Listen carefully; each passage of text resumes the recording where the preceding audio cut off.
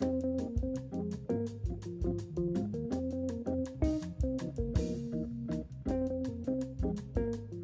everybody, this is HD Shaves here. I'm back with another video. Hope this video finds you well and in good health or quickly recovering. Uh, first of all, sorry the video didn't make it out yesterday. Uh, was just uh, not feeling so great after our second dose of the COVID vaccine and so I thought, eh, let's just wait 20, 24 more hours let's see if I start to feel better today. And fortunately I do feel a bit better. And um, well, it's just shaving, right? So it can probably wait a day. Um, today I have kind of a I guess you would call classic shave by my standards in terms of, uh, well, it's gear that I, um, or sorts of gear that I typically show on this channel. And so let's start with the razor. This is a made in English, made in English, made in England um, Gillette Tech. It's got the, this is one of the later models. You can tell it's later when they put the uh, brand on the top there. And this one is basically the cousin, the British cousin to the American post-war tech, uh, and that it's got the oval base uh, lather slots on the base plate, and it's got the diamond imprint in the middle. Um, this razor was recommended to me by a friend who just couldn't stop talking about how much he loved it. This was his favorite tech, and the reason why he loved it so much is because this uh, handle is not hollowed out. It's a solid handle, and so this all put together on, on original parts now, of course, on original parts. This is the heaviest tech they ever made. This is about 62 grams, I want to say. And other techs, more average, maybe around 50 grams, and they can be even lighter depending on the materials used. And so um, I definitely wanted to try this razor out for myself because it does, you know, it is unique and it's the heaviest. And so we'll be talking more about that. Um, today we're going to be using a Kai blade in it, which is also recommended um, by the same person. Uh, I think Sharp Blade in general is a good recommendation for these mild techs. Uh, Polsilver, Feather, Kai. I had never used Kai before, uh, and so I also want to thank the person that sent me a few Kai blades to try out um, in this uh, razor and you know mild techs in the future. Um, it did come originally in this case right here, little plastic one. Uh, the set is called number 24. There's a number 24 set if you want to look it up. Um, definitely not the most expensive tech set by any imagination, but it opens up like that And you drop your razor in and there you go. Um, the same razor was also sold in kind of a red case called the number 45. I have one of those coming in soon. Uh, it's, a, it's a pretty striking color red. Um, it's not bright red, it's more like a, a maroonish color, but that's also a very nice set. More substantial than that case for sure. All right, and for the soap today, I uh, decided let's start putting uses on some soaps that I own that don't have uh, much left to them. Um, this one has the tiniest little uh, circle of death here in the middle. And so I thought, eh, let's try to put some uses on this. Maybe later this year, I'll fully commit to using this for, you know, weeks and weeks and try to get rid of it. Um, so Summer Break Soaps Bell Ringer. Um, this is a bright, sweet citrus kind of scent. Really perfect for summertime. And so in light of the warm weather we had kind of starting last week, now it's kind of springy and rainy again, but I thought, you know, why not bring this out? And so this is their most recent uh, soap base, which has, you know, it's a tallow-based soap and has uh, lots of good uh, soap ingredients. And then uh, for the brush today, we are going to be using one that I haven't used in quite a while, but um, I have three days growth today. And for me, when you have more growth than you usually do when you're about to shave, why not break out a scrubby brush? And so in that case, I'm gonna be using this uh, Dogwood Handcrafts handle with the Declaration B3 Huge knot, kind of reminds me of the Simpsons Chubby 3. Uh, best Badger knot, uh, except this one is a bit denser. But other than that, they feel very similar. Um, and so, yeah, I'm looking forward to uh, working this in and um, getting some scrub going. Um, I have used this earlier this week, but um, especially today with the three days growth, I think this will be wonderful. So we're gonna go ahead and start loading the soap here. Definitely gonna be loading it like we hate it, or as another YouTuber likes to say, um, load it like there's no tomorrow. I like that one. Um, so yeah, I, you know, again, as I said, this is kind of a very classic shave for me. Um, I didn't especially feel like doing, you know, actually, I guess I've reviewed everything that I'm going to be talking about today except for the tech and the uh, one part of the post shave, which I'll keep a surprise for later. Um, I mean, that being said, though, these you know vintage razors they are more similar than different, and so I have reviewed other English techs on this channel before, and is this tech that much different? No, but is there something to be said about the weight of it? Perhaps I could I could maybe be convinced of that. You know, weight is something that um, if you put two razors side by side, one significantly heavier than the other, I think it's hard to not notice a difference. You know, could you adjust to maybe compensate for weight things? Sure, but I think kind of um, that you know the natural weight of it in general is going to have some kind of impact. You know, so we're just loading the soap here. And um, so far, uh, it's been really great to work with this base again. Actually, I just used it, um, I guess last week, right? With the Mountain Laurel set, because it's uh, the summer break uh, soap base. And by the way, regarding that, I haven't heard from the winner, uh, Chris Simpson. So Chris, if you're watching this, please send me an email with your info so I can send you that set. Or if any of y'all know Chris, can you uh, send him a message for me and um, tell him that I'm looking for him? Um, I'm going to give him until next week whenever I post my next video. And then if I don't hear from him by then, I'm just going to pick somebody else. Um, so, FYI. Okay, that's going to be good on the soap, I imagine. Um, I'm going to wet the face here.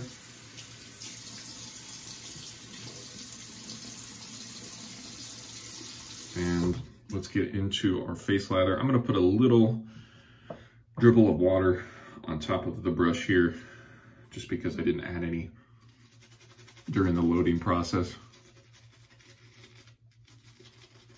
And yeah, I think even thanks to the three days growth, this brush is actually feeling less scrubby than usual because, well, my my my beard is like protecting me from the scrub.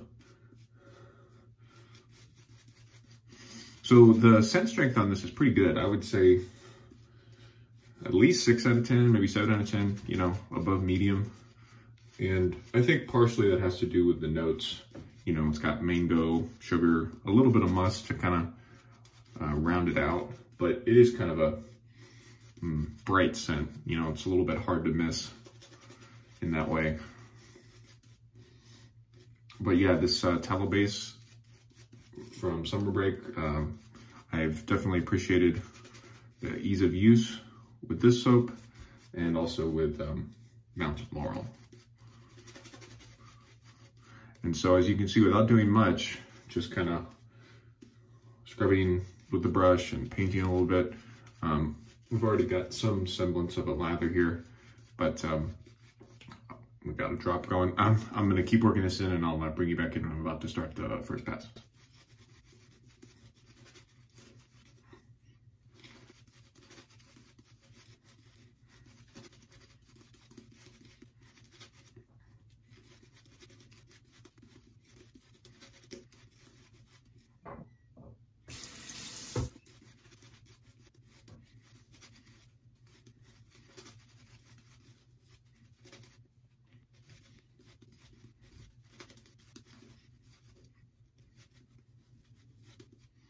All right, we're back and the summer break base, um, nice and, uh, uh, well, it created a wet lather uh, without any uh, issues. And um, I just got a haircut, so I'm gonna be doing my best to line up the sideburns on my own here. And here we go, first pass with the Gillette Tech. This Kai has, uh, I think five uses on it, six uses, something like that.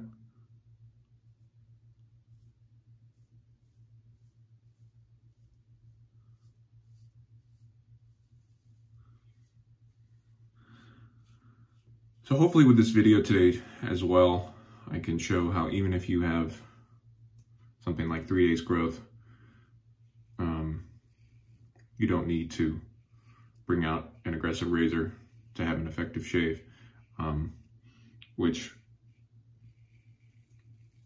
for somebody like me who prefers the mild razors, kind of begs the question, you know, if I can get a good uh, shave, close shave, with the tech on multiple days growth, then why do I need to use an aggressive, more efficient razor really ever, you know? Because for the day-to-day -day shaving. Of course, I'll prefer something a bit more mild. Um, but before, I've kind of used logic with myself of, oh, well, you know, if I have a bunch of days growth, maybe I need something more aggressive, more efficient, but I'm realizing that maybe that's just not true.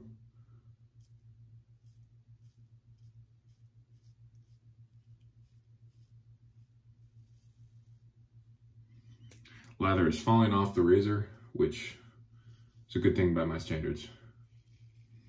Means that I've put in the right amount of water. Okay. that one went off to the side a little bit.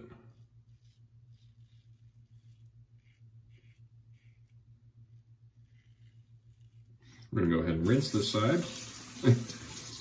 Need to adopt the uh, Michael Friedberg rinsing method. Is it him? I think it is. There's there's somebody who when they use a yeah, I, I think it has to be him, right? Anyway, when they do a video and they're shaving with a DE, they'll they'll rinse after each side. And so then when they bring it out of the water, people don't realize that they've also flipped it. and so they tell them, hey man, you're not using both sides of the razor. And it's like, yes, I am. I'm just rinsing after each one because it's kind of gross. It is.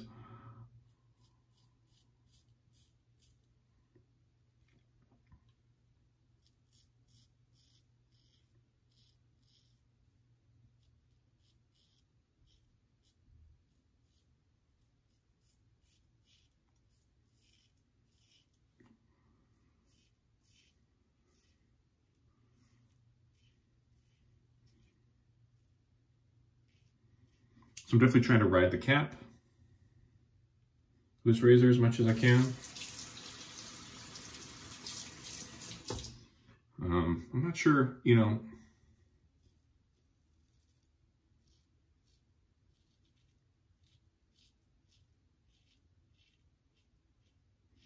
that's been kind of my default tech angle, is try to ride the cap, but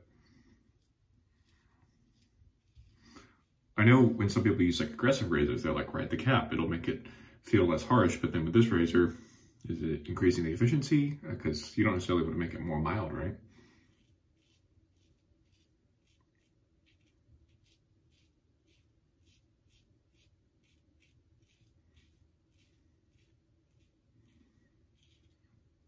To be honest, I'm not really quite sure what it's doing in this case, but I know it feels more comfortable than when I tilt the handle down more.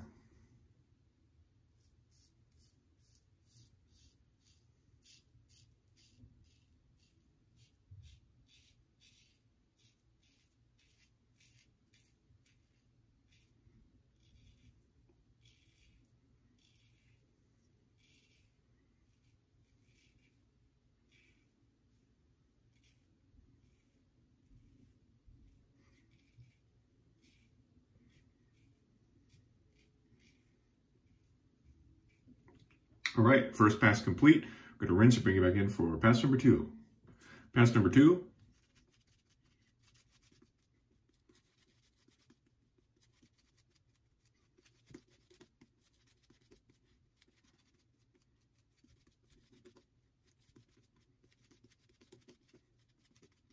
All right, pass number two across the grain mostly.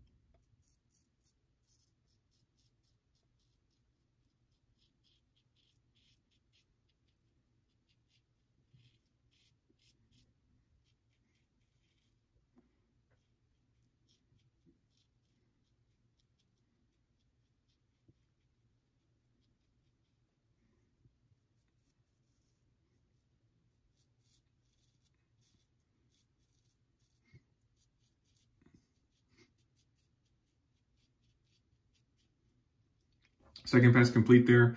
Um, very nice, reminded me of some kind of fundamental shaving things, right? Let the razor do the work more. That's not the best expression, but light, light pressure. Um, don't push down too hard. Mind your angles going around curved areas, things like that. And anyway, I'll uh, talk about that more here uh, upcoming the third pass. Just a second. Third pass.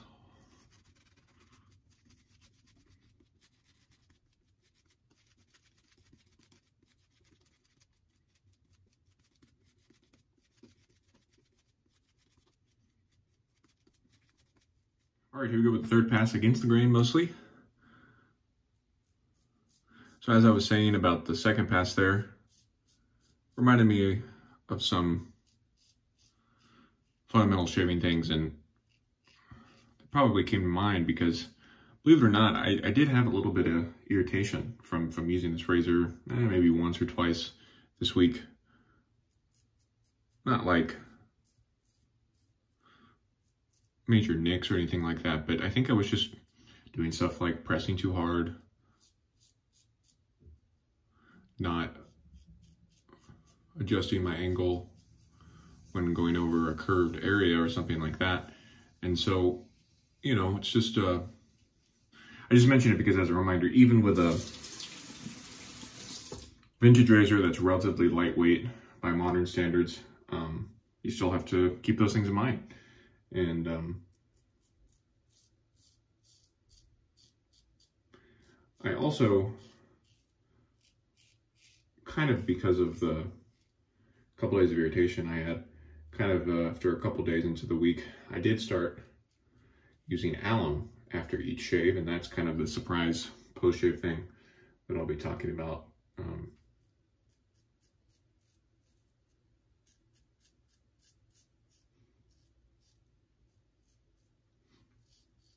after I finish this pass. Um, you know, going against the grain,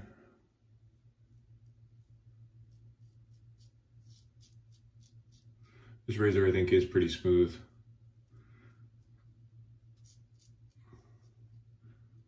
I think Techs in general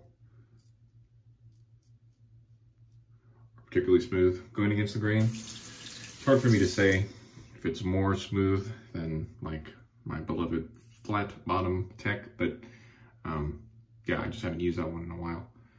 Um, I guess we'll go the other way here.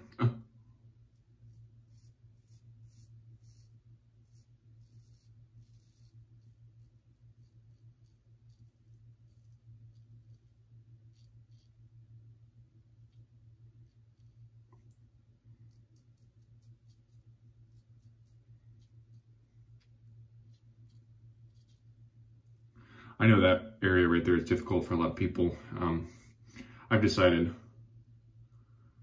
that basically I'll just go across both ways and then I'll get right under the nose going against. So that's really the only part I go against on.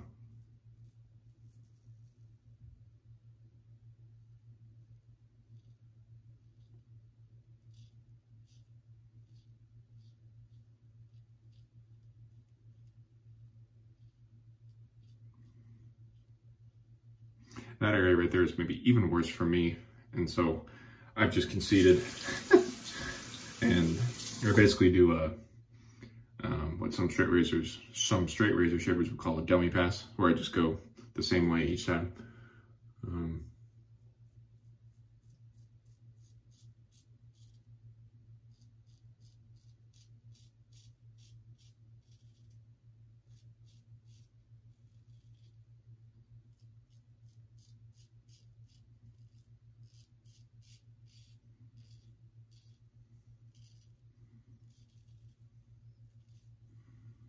This part's always felt comfortable.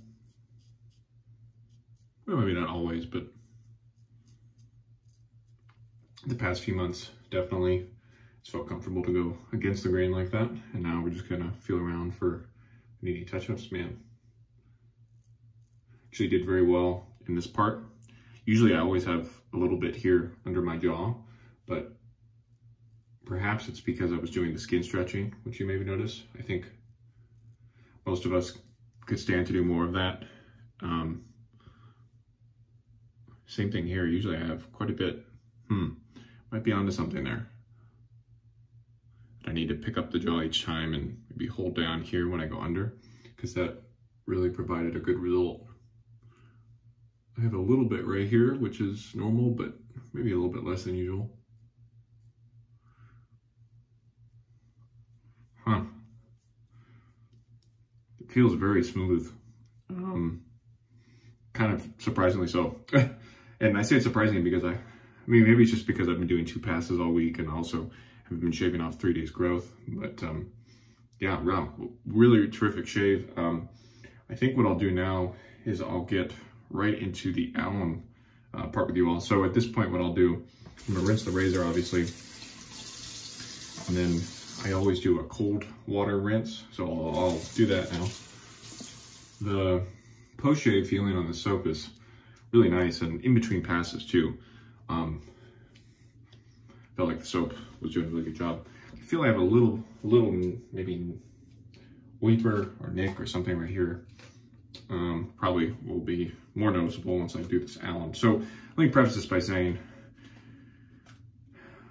alum is probably overrepresented in the beginning stages when you find this way of shaving. People say you got to use alum.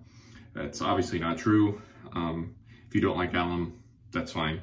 Um, I was used to again, probably because of its over representation in the beginning. I, I, I, used to use this all the time, and then now um, I haven't I haven't really used it in a while. I thought, well, let's revisit it again. So you you know, cold water, go like this. No stinging there. No stinging there. Little right there. Really good under there have one there, and then I bet I'm gonna feel one here. Yeah. So after you do this, what I like to do is I let it sit for a minute. Make sure you rinse your alum, let it dry out. Um, I like to let this sit for a minute. Um, and so while I do that, I will like start cleaning up my gear. So I'm gonna do that and then I'll cut you back in. Okay, so it's been a minute, so now I'm gonna rinse the alum. You can use cold or warm, I guess, depending on what your preference is.